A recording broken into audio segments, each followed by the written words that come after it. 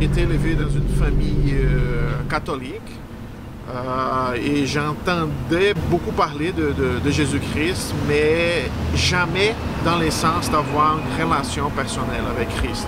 C'était plus au niveau d'aller à l'église, aller à la messe, et, mais j'ai jamais eu vraiment une chance de, comprendre c'était quoi euh, connaître Christ pour avoir une relation personnelle avec lui moi, je, pensais que, j'étais bon euh, pour mériter le ciel, mais à ce moment-là, j'ai compris que euh, c'était pas une question que j'étais bon, mais que j'avais besoin d'un sauveur dans ma vie. Euh, pas vraiment de quelqu'un juste pour m'aider à bien vivre ici dans, dans, ce monde, mais j'avais besoin vraiment de quelqu'un pour me transformer, pour, pour prendre soin de ma vie. Euh, c'était pas juste au niveau de lire un livre, savoir qu'il a existé, comme dans, dans tous les livres de, qu'on peut voir à l'école, on voit que oui, il, existait un homme qui, a, qui était appelé Jésus-Christ, mais c'est pas juste ça, ça va au-delà de ça, de savoir qu'il existe.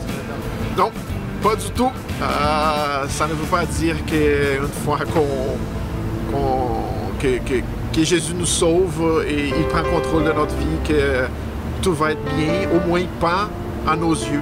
Euh, juste après que euh, euh, le Seigneur m'a sauvé, j'ai été un peu rejeté pour, une partie de ma famille. C'était vraiment quelque chose que c'était difficile, c'était pas évident. J'avais des amis qui me disaient Mais voyons donc, comment est-ce que toi tu peux croire dans tout cela?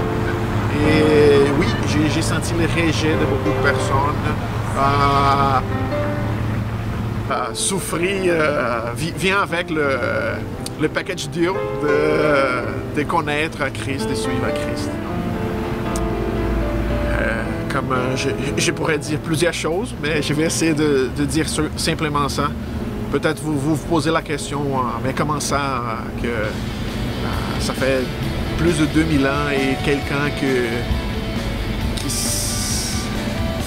qui pense à suivre Christ, c'est une religion, quelque chose comme ça. Comment ça se peut que la personne peut croire à tout cela? Et je peux vous dire, euh, peut-être c'est une folie, c'est une vie transformée et euh, il n'y a, plus de désespoir. Euh, on sait que Dieu est au contrôle et, c'est merveilleux. C'est par la grâce qu'on est sauvé. Simplement ça.